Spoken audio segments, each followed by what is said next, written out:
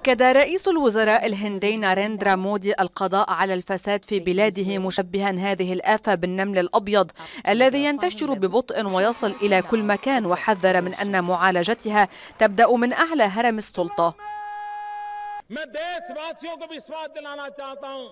أريد أن أجدد التأكيد على أن هذه الأمة سوف تتخلص من الفساد. بإمكاننا أن نخلص البلاد من الفساد علينا أن نبدأ من الأعلى. وتأتي تصريحات مودي بينما وردت أسماء عدد كبير من كبار مسؤولي حزبه حزب الشعب الهندي في عدد من القضايا. وتستهدف اتهامات بالفساد وزيرة الخارجية سوشما سواراج ورئيسي السلطة التنفيذية في ولايتي راجستان وماديا براديش اللتين يقودهما حزب الشعب.